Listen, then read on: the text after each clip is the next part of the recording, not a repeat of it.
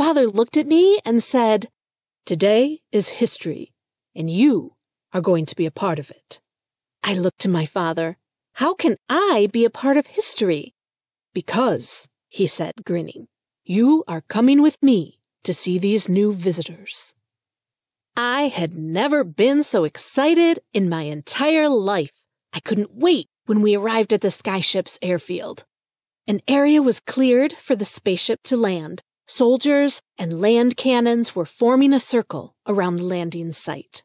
My father and I stood on the tower to watch the alien ship fly into the landing zone. One soldier, with a portable radio on his back, hurried over to my father. Chief, Commander Kewig and Dr. Markey are ready and standing by.